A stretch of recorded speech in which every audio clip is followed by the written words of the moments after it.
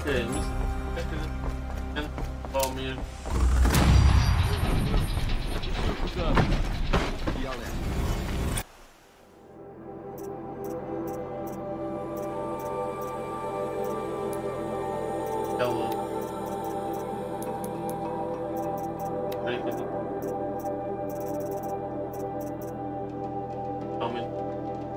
Crime. Atrás deste.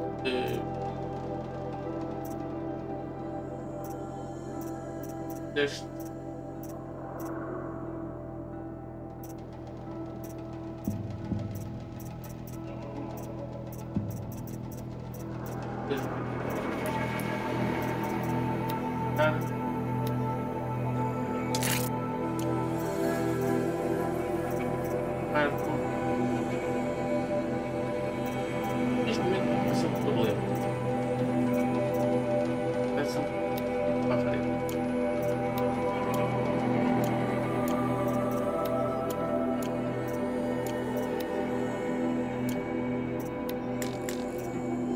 Isso- vai ser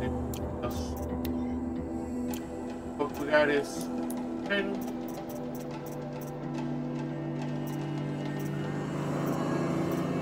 Ah, Acho que é aqui. Acho. Calma. Vale a pena. Dar.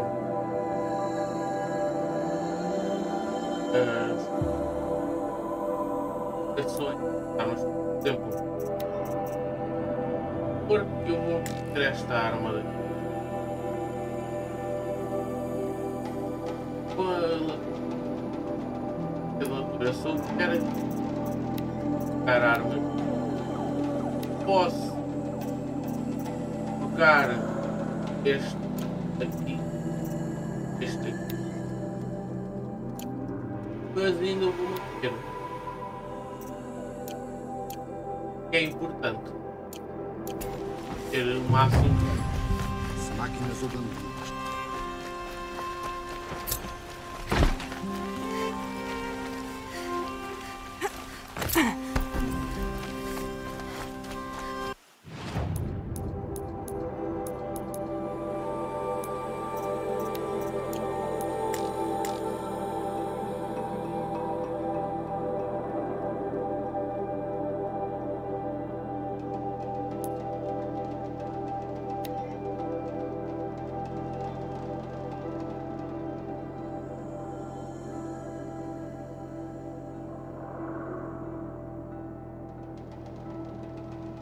Está tarde, já temos 3 horas de live stream. Para live stream. Graças a Deus. Para bem. Já me já faço. Só para as live streams terem o máximo de estabilidade possível. Eu faço tudo mais alguma coisa. Reza a Deus, rezo ao Buda. Como sabem, um gajo está a fazer live streams. É que são estável. Estável. De vez em quando a internet não é das coisas mais estáveis que existem. Eu fiquei surpreso. Ou tu tivesse estado a dizer que a internet estava má. Pá. É bom, é mau, eu acho que é bom ele não se que estava, a internet estava a ficar a má, mas também já não sei. Bom, eu sei que a gente vai ficar por aqui. Estes dois pontos que eu poderia pôr aqui, os vou guardar para ter pôr aqui neste vídeo. Aqui, mais. Há uma cena que partilhar sobre One Piece. Isto não é bem uma cena assim tipo má. Uma cena que é tipo um bocadinho inconveniente. A forma como o jogo funciona, quando vocês estarem a fazer melhorias,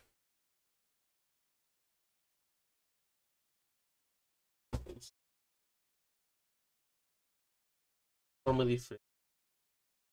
Não é tipo, ah, subi de nível, por isso buscar pontos de habilidade para pôr habilidades que eu quero. Não. Portanto, pontos de habilidade inimigos que vocês vão derrotando. Existe uma chance de cair ponto de habilidade, existe uma chance aleatório. Depois uh, existe um upgrade para vocês aumentarem a chance de cair alguma coisa do inimigo. O que acontece que é um bocadinho inconveniente? Vocês, ao fazerem a melhoria, não estão a tipo fazer um autosave com essa melhoria. O que é que vocês têm que fazer? Têm que, das duas, uma, ou fazem o upgrade a seguir, ou começam uma missão nova, ou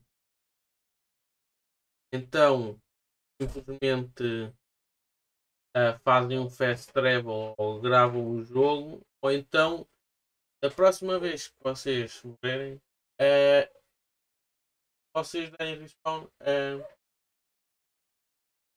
todas revertidas. É um sistema mais ou menos bom, porque às vezes pode ser que vocês moram por fazer uma, uma upgrade, uma melhoria e que vocês viram que ela não serve para nada. Caso sim, vejo que é bom, mas é um bocadinho inconveniente vocês depois quer voltam lá a ir depois das à parte das habilidades e pensam, ah, isto é a habilidade ficou gravada. E não fica. Fica guardada melhoria que fizeram. Mas bom, isso é um pequeno pontozinho sobre o One Piece. Eu acho que é um é a necessidade constante de vocês estarem a fazer upgrades. Depois lembrarem, espera, eu fiz este upgrade eu morri agora, mas deixa ver se o upgrade ficou.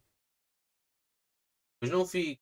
Vocês têm que estar ali mais tempo de volta de conseguir as coisas. Depois de volta de mais um upgrade aqui, mais upgrade ali.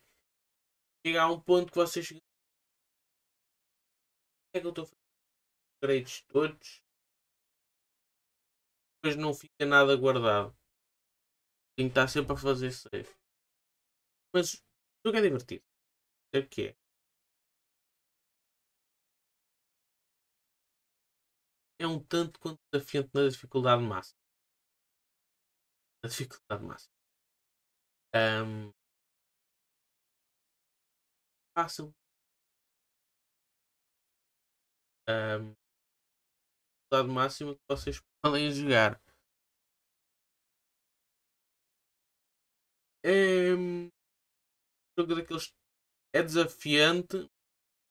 Ser mau é desafiante a ponto vocês se divertirem imenso com ele. Eu sei, é um bocadinho esquisito esta frase, mas é verdade. O jogo é divertido. É um bocadinho interessante, sim. Quando vocês querem fazer alguma coisa mais como é que eu ia dizer? Mais específica de ir só para aquela árvore de habilidades para já, porque é aquilo que vocês estão a usar e depois ir para as outras árvores de habilidade. Porque basicamente aquilo funciona assim. Vocês têm dois modos de combate. Tem o modo observa, observ, observador, que é basicamente o modo stealth.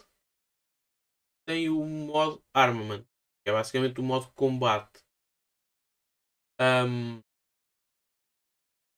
e depois vocês em cima têm uma que é os ataques especiais. Depois têm habilidades gerais para exploração. Tens habilidades de exploração e depois tens habilidades. Depois em baixo é tudo habilidades gerais. Só que é habilidades de exploração e habilidades de sobrevivência vocês depois vão ter que ir escolhendo. Por exemplo, eu tenho dois níveis da melhoria de vida, um nível da melhoria de regeneração de vida e entre outros. Mas esses são aqueles assim mais importantes que eu tenho. Mas isso depois vocês quando nós fizermos série dos. Mas bom, deixar-vos ir com o Moraes que me está Aqui quem está a ver se quer estar se é o Moraes mais daqui um bocadinho. Ao lado das 8 provavelmente ele deve estar live no Kick onde é uma live mais descontraída do que a da Twitch? A sério. Uh, é muito mais descontraído mas bom, vou deixar-vos aqui com isso. Aqui como posso estar a rage né? Uh, nem posso hospedar uh, menos a irem ver rurais não é não ser mais fixe. Mais que tipo haja bastantes vezes que o Paulo tenta dizer que ele presta ou ele nada. Uh, esses normalmente quem diz isso é quem primeiro nunca viu uma vi o stream dele, mas já veio com a ideia de que o conteúdo dele é mau. Depois dá essas. Sim.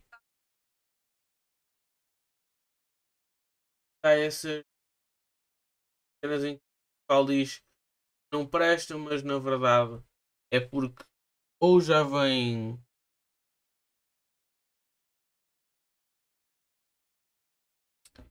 com bias de trás porque não não quiseram dar ouvidos a mais ninguém que dissesse nada sobre ele, só deram ouvidos àqueles que que o conteúdo dele não presta. Tipo, eu sei que o conteúdo dele não é para toda a gente. A gente provavelmente não vai gostar do conteúdo dele ou da forma como as streams dele funcionam.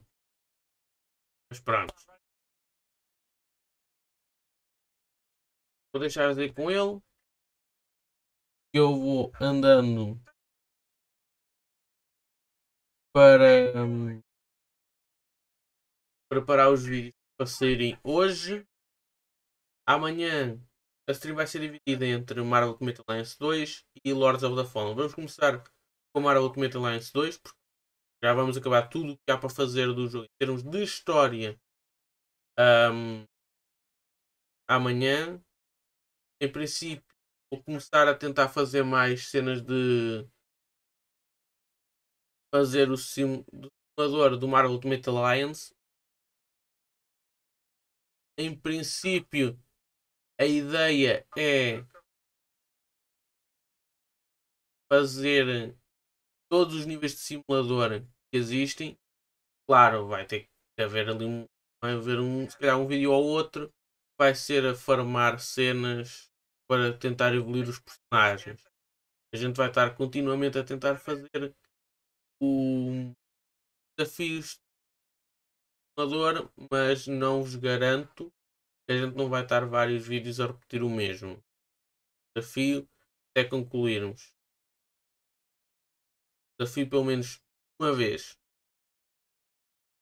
Que é o Roll to Silver Surfer. Embora sim, se calhar não é coisa nada mas vai ser os vídeos de Marvel Ultimate Alliance. Nós começámos a fazer isso. Mas eu comecei a fazer isso. Mas acabei por não continuar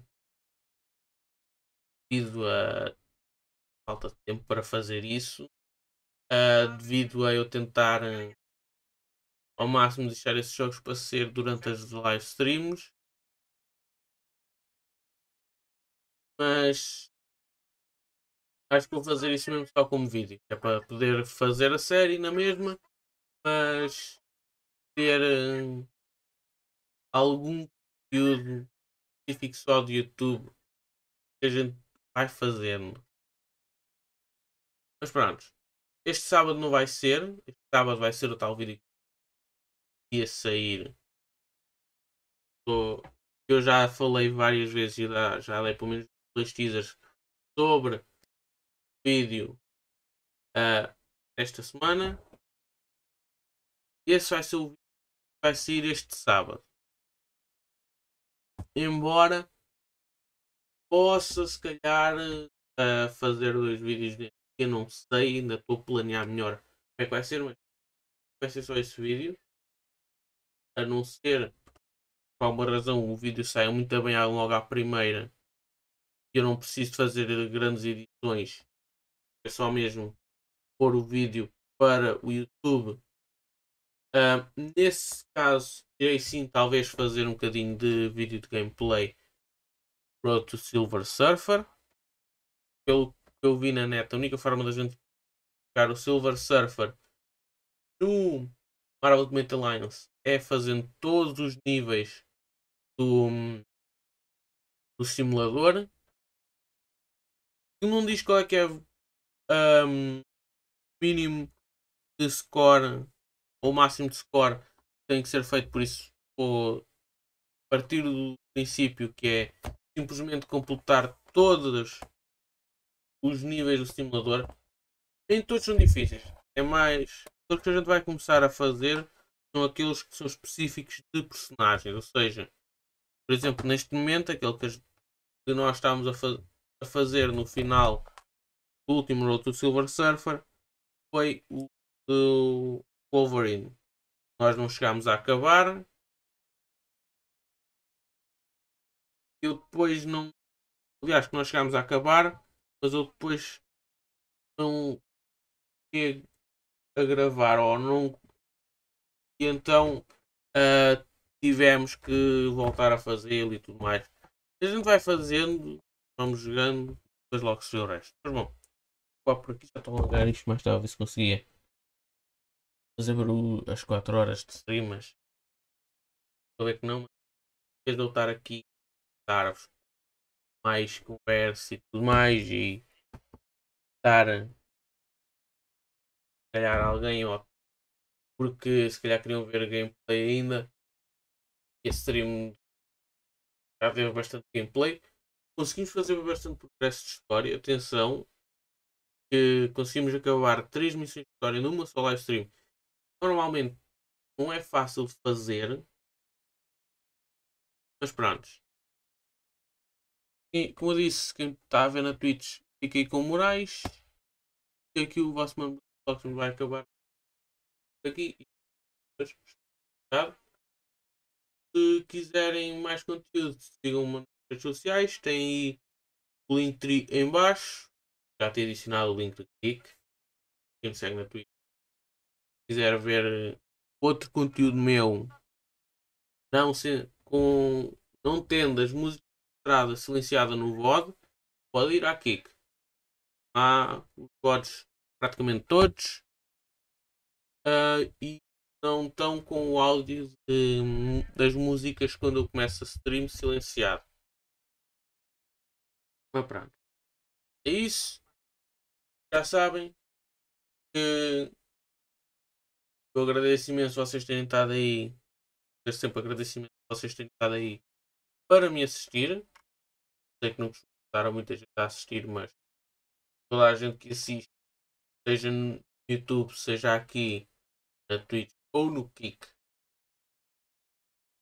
agradeço sempre que vocês fazem com que possa continuar a acontecer, mostra o interesse no conteúdo. E se mostra o interesse, fica que eu estou a fazer alguma coisa bem. É isso. Já sabem, vídeos. Isto vai parar ao YouTube forma de vídeo. É isso. Vemos no próximo live stream ou vídeo, seja o que for. Já sabem que muito provavelmente é live streams cá em primeiro, mas pronto. Sabe. Vemos amanhã. Ui. Amanhã é o horário normal a partir das duas. Esse é o horário normal. Mas é. Não se esqueçam de seguir as regras do do mais. E agora sim, fui e vemos amanhã.